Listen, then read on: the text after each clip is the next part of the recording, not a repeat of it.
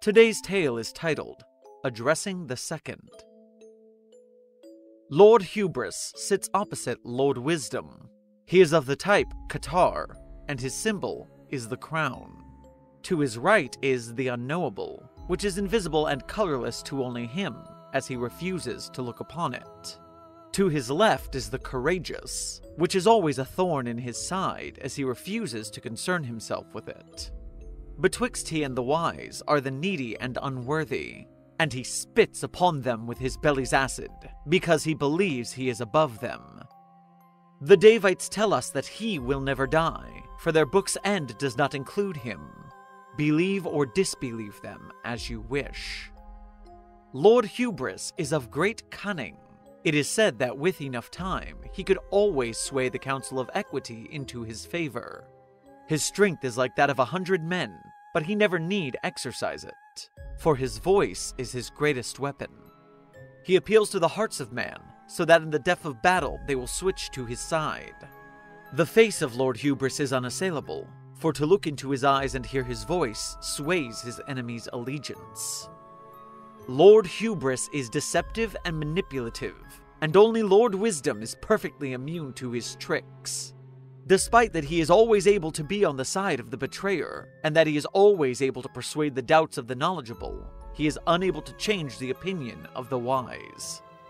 Lord Hubris is of great endurance. It is said that if he can be cut in twain, his headless half will come alive to struggle with him. When in combat, even as his mortal foes strike blades into his flesh, he shrugs them off and speaks to them. Even when there are those who are particularly stubborn, the swaths of his claws will steal their fates away from them. Lord Hubris boasts that of all Espy that are able, none can beat him in battle, as he will outlast them always. His opposition to the wise is unending and unyielding, for he believes the Deva that he will live forever. He believes he can sully Lord Wisdom's reputation such that the other ten members of the council turn against Lord Wisdom and grant Lord Hubris his victory. Starl laments. Lord Hubris has the face of a ghost, but made with stone. It is like the whiteness of salt, but as hard as rock.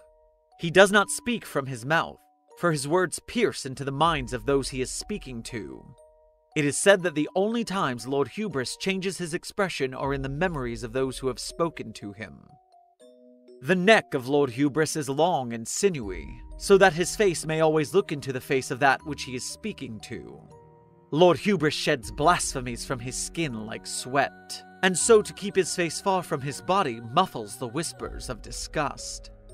His talons are innumerable and smeared with the flesh of those who did not follow him, as he is a wrathful lord. His spit is black blood, and those who touch it are burned by it. And when enraged, the drool of Lord Hubris is said to come alive and form words in the drops it leaves on the ground. Our elders Twilight have told us that Lord Hubris has existed always, but has not always been as he is today. In a time long before ours, he was instead two things, but have since become one a visage made of porcelain worn by the ancient Tarask.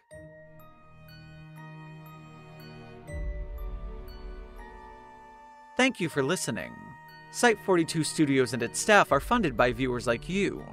Please become a patron or visit our merch store at the link in our bio to support our work. Secure, contain, protect.